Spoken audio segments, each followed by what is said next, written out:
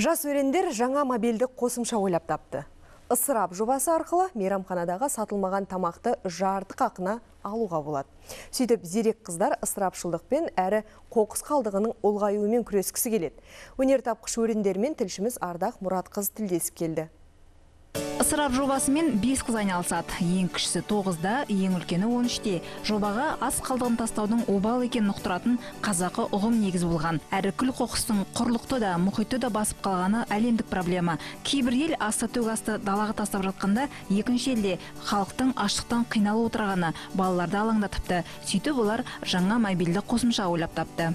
Мысалы аспаз ә, 10 тәрелке күріш жасады оның тек 5 тәрелкесін ә, сатып 5 тәрелкесі қалды ол күннің соңында ол 5 тәрелкені ә, қоқысқа лақтыратын еді бірақ та біздің ә, бағдарламамызбен ол сол тәрелкені біреуін болса да ә, жартысы бағасына алу, сатып алуға болады 30% выбрасывается. Әлемде 100 пайыз дайын тағамның тек 70 пайызы тұтынылады. Қалған 30 пайызы, яғни жылына 1,5 миллиард тоннасы қоқысқа лақтырылады. Оның 15 пайызы мейрамханалардан шығады.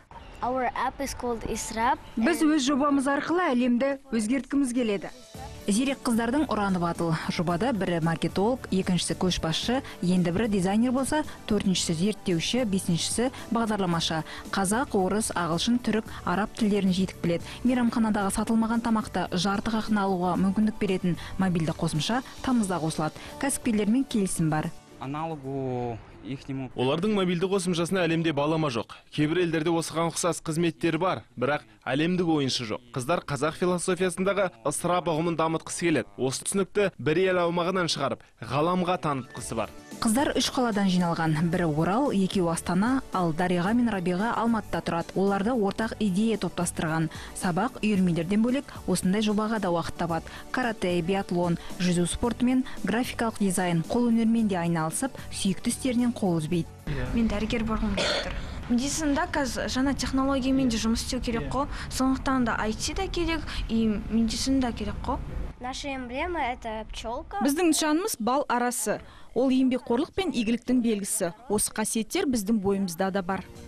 Стартаперлер тың жобасымен Technovation Challenge 2018 байқауына қатысып, жартылай финалға өткен. Қорытынды сайыс тамызда ақштың Сан-Франциско қаласында өтеді. Зерек қыздарға жеңіс тілейміз. Ардақ Мұратқызы, Жандос Мамашев, Қазақстан ұлттық телеарнасы.